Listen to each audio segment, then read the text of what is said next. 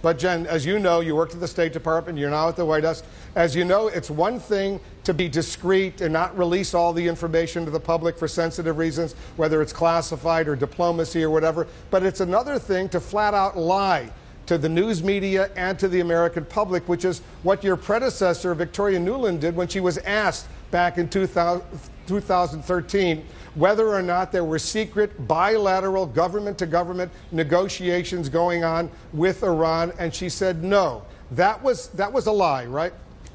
Well, Wolf, I think you'd have to speak to my predecessor about that. What I can tell you is that what I was doing, not just that day when this question was asked, the fact is, a week before this, I proactively talked through every aspect of the back channel at the State Department briefing. But, but then there was this subsequent, when you were the State Department spokeswoman, subsequent exchange you had with James Rosen of Fox when he asked why Victoria Nuland had lied about those direct bilateral negotiations. So the, the accusation against you, Jen, and I want to give you a chance to respond, is that uh, you were defending that earlier lie from Victoria Nuland.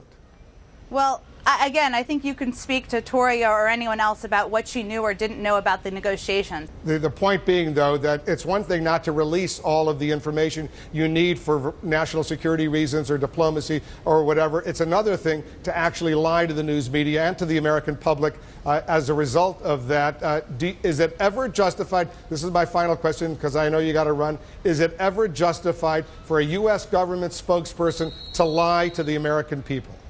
I think that's a, a, fundamental value that I have always followed is not to, uh, and providing as much information as you possibly can.